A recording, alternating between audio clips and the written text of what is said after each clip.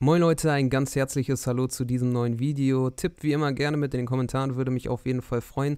Es gibt mal wieder eine Prognose zur zweiten Liga, sogar komplett. Ich hoffe, es gefällt euch. Es kann durch Corona, durch anderweitige Verletzungen, Ausfälle und Wechsel dazu kommen, dass jetzt mal hier und da ein paar Spieler mitspielen, die gar nicht mehr im Kader sind oder jetzt zumindest nicht spielberechtigt sind. Kann passieren dann tut mir das leid, aber lässt sich nicht zu 100% vermeiden. Ansonsten erste Bundesliga kommt auch noch, aber jetzt geht's erstmal los mit Heidenheim gegen Hannover. Viel Spaß und danke fürs Reinschalten. Zum Auftakt in den 21. Spieltag empfängt der erste FC Heidenheim Hannover 96. Heidenheim und Hannover, beide Mannschaften trennten sich am vergangenen Spieltag mit 0 zu 0. So richtig zufrieden konnten beide auch damit nicht sein. Heidenheim wollte es nun besser machen und hatte auch in der Anfangsphase eine gute Chance, aber Ron Robert Zieler im Tor der Hannoveraner noch nicht zu bezwingen. Auf der anderen Seite klappte es aber besser. Teuchert mit der Vorlage für Maximilian Bayer ausgekontert. Der erste FC Heidenheim zeigt sich doch recht luftig in der Defensive. Dieser Treffer bedeutete gleichzeitig auch den Halbzeitstand. Die Mannschaft von Frank Schmidt aber über der Stunde Marke, dann mit richtig guten Offensivszenen. 63. Minute der Ausgleich. Tim Kleindienst, der Ball kommt von der linken Außenseite, flutscht so durch den 16er und ein Torjäger steht eben da, wo er stehen muss. Heidenheim nun viel besser. Tobias Mohr 2 zu 1, Spiel gedreht. Hannover 96 im zweiten Durchgang gar nicht mehr so richtig auf dem Platz nach vorne, ging zu wenig. Jetzt auch Ron Robert Zieler geschlagen zum zweiten Male. Nachspielzeit Hannover spielte es auch schlecht raus. Von hinten verzettelten sich und kassierten dann sogar noch das 3 zu 1 Doppelpack. Tim Kleindienst, Ron Robert Zieler ist noch dran, kriegt den aber nicht rumgeleckt. Ein verdienter Sieg unter dem Strich Heidenheim im zweiten Durchgang. Richtig gut. Hannover hatte nach der Führung zu wenig gemacht. Der erste FC Nürnberg bekommt es mit dem FC Ingolstadt zu tun. Es ist für den Club eigentlich ein Pflichtsieg, aber der FC Ingolstadt, er will sich nicht so sang- und klanglos aus der Liga verabschieden, wie es doch manche erwarteten. Und so sah es auch im ersten Durchgang aus. 25. Spielminute, die bis dahin größte Chance in der Partie. Sie gehörte den Schanzern, doch Christian Martenia mit den Fingerspitzen ist er noch dran applaudiert sich selbst vollkommen zurecht. Das war eine gute Parade. Vom Club bis dahin relativ wenig zu sehen. Wir sind schon in der 37. Spielminute und dann kommt mal ein Abschluss aus der zweiten Reihe. Nikola Dovedan. Toller Schuss. Gehalten von Jendrusch. Stojanovic, der Neuzugang im Tor der Ingolstädter, fehlte verletzt. Das war natürlich bitter. Aber toll hier gehalten von Jendrusch. So ging es ohne einen Treffer in die Pause. Aber es war durchaus ein offenes und unterhaltsames Fußballspiel. Und der FC Ingolstadt spielte weiterhin auf Augenhöhe. Stefan Kutschke Röhl zu Florian Pick 0 zu 1, 58. Minute. Und das war wie gesagt nicht unverdient. Starker Auftritt des Tabellenletzten, der erste FC Nürnberg. Er wollte hier aber nicht als Verlierer vom Platz gehen. Tempelmann mit der Hacke zu Köpke. Der Ball abgefälscht vor die Füße von Dovedan und der gleicht noch aus. In der 84. Minute das 1 zu 1. Auch der Endstand der beiden Mannschaften überhaupt nicht schmecken dürfte. Ingolstadt braucht unbedingt drei Punkte. Nürnberg ebenfalls, um obendran zu bleiben. Und so sind beide Mannschaften am Freitagabend doch ziemlich unzufrieden.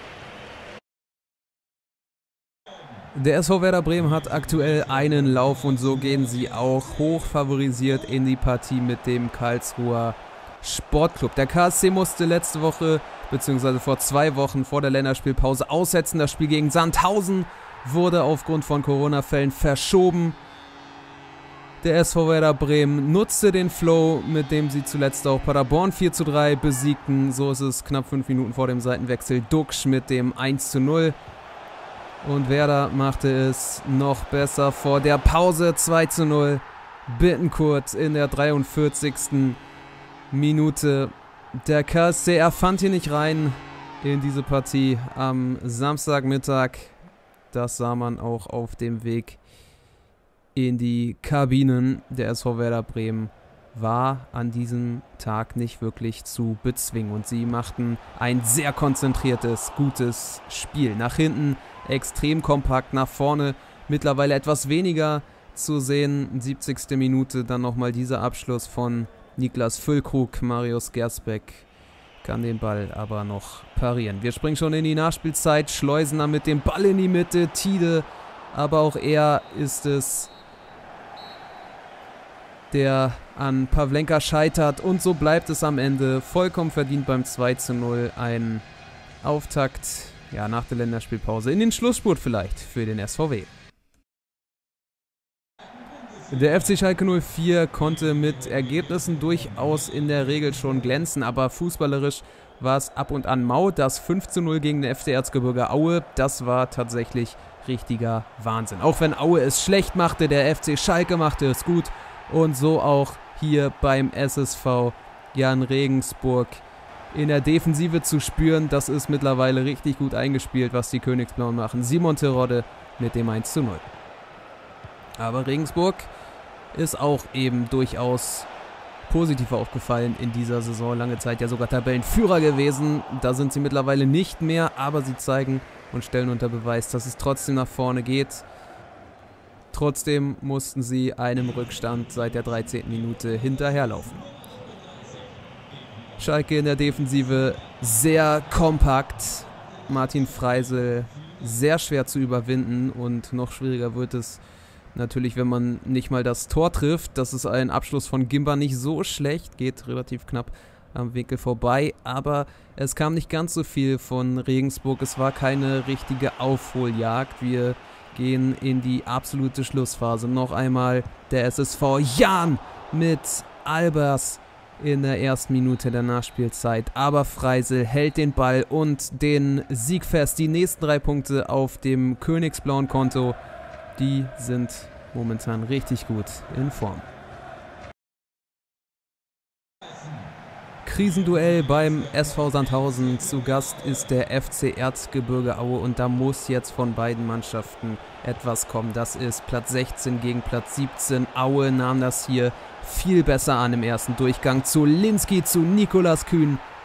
Fünf Minuten vor dem Seitenwechsel. Das ist 1 zu 0 für die Lila Veilchen absolut verdient diese Führung. Sandhausen konnte sich hinten fast nie befreien und Aue, das war unglaublich, wo sie auf einmal diese Kraft hernahmen, nach vorne zu spielen. Aber sie brachten es aufs Feld. Prinz Osei Owoso mit dem 2 zu 0 auch in der Höhe durchaus verdient. Der Halbzeitvorsprung. Auswärts scheint es für den FC Erzgebirge ein bisschen besser zu laufen. Das letzte Auswärtsspiel beim FC St. Pauli konnten sie auch gut gestalten. Jetzt aber gerieten sie im zweiten Durchgang etwas unter Druck. Martin Mennel muss hier parieren gegen seinen Ex-Kollegen Pascal Testroth. Ja, und man merkt trotzdem noch bei Aue, dass der eigentlich fehlt hier im Erzgebirge. Aber Mennel hält erstmal für die Gäste 11 das zu 0 kurz vor dem Abpfiff. Aber nochmal Testrot, der zu Ritzmeier 1 zu 2 in der zweiten Minute in der Nachspielzeit. Dieser Treffer, er kam allerdings doch zu spät. Es bleibt beim Sieg für die Gäste. Sandhausen verliert und ist jetzt Tabellen 17.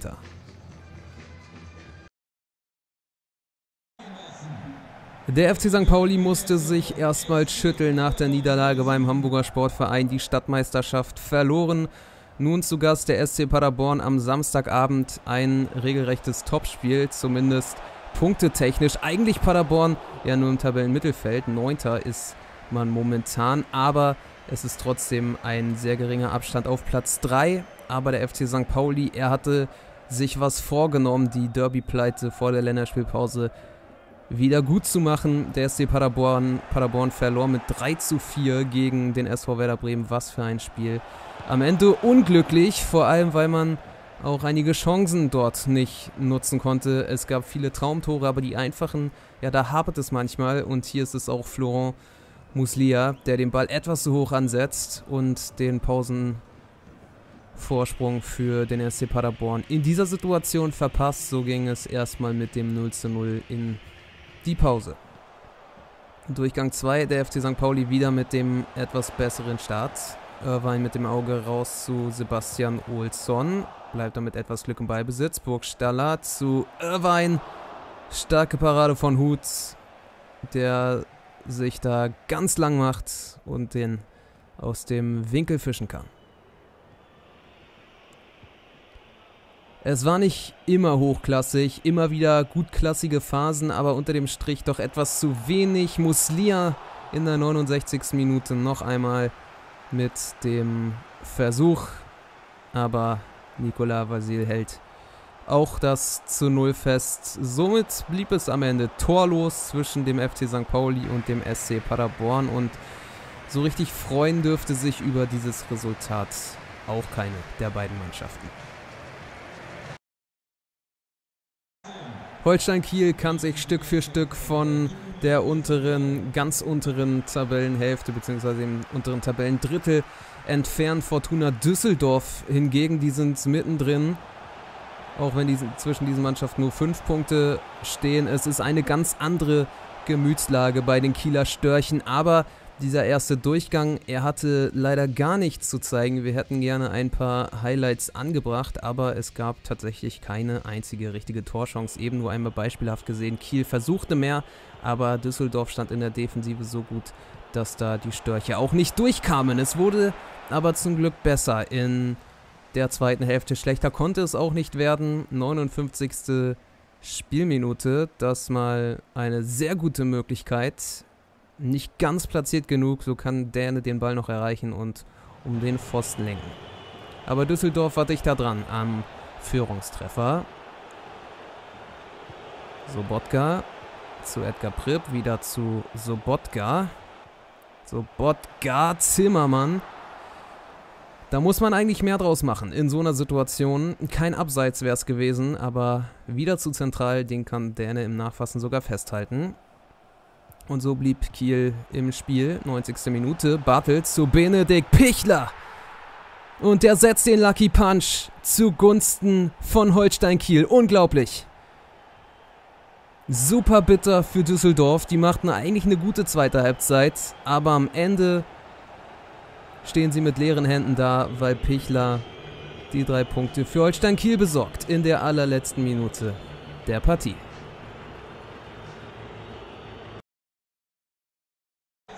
Der SV Darmstadt hat vom Sieg des Hamburger SV gegen den FC St. Pauli profitiert und ist jetzt aktuell Tabellenerster. Also ein Topspiel hier. Darmstadt Erster gegen Hamburg Fünfter. Und punktetechnisch liegen da auch fünf Punkte zwischen der SV Darmstadt trotzdem nicht unbedingt in der Favoritenrolle. Die Vorzeichen eigentlich ziemlich ausgeglichen. Aber die Lilien, sie konnten erstmal besser Fuß fassen in diesem Duell. Der HSV kam erst kurz vor der Pause mal auf. Glatzel kommt aber nicht durch. Patrick Pfeiffer klärt es nicht gut genug. Kin Zombie sieht Ludovic Reis und der hat zu viel Platz und haut ein absolutes Traumtor raus. Was für ein Schuss und der ist wie gemalt. Da kann man fliegen, wie man will. Marcel Schuhn streckt sich, aber der ist nicht zu erreichen. Ein Traumtor bringt erstmal die Halbzeitführung für den HSV, die nicht unbedingt verdient war. Darmstadt leicht besser im Spiel. Aber das bringt einem am Ende auch nichts, wenn man die Tore nicht macht. Und so sah es auch erstmal im zweiten Durchgang aus. Daniel Heuer Fernandes, ein sicherer und wichtiger Rückhalt mittlerweile beim Hamburger Sportverein. Der HSV zog sich lange Zeit zurück, kam erst kurz vor dem Ende mal wieder zu einem besseren Offensivspiel. Glatzel zu Bagriata Haya, Jatta im Zusammenspiel. Es geht ein bisschen zu schnell für Darmstadt. Glatzel aber nicht mit dem 2 zu 0 in der 85. Spielminute. Marcel Schuhn hielt es ergebnistechnisch spannend, doch es sollte nicht mehr kommen vom SV Darmstadt. Sie verlieren das Topspiel gegen den HSV mit 0 zu 1.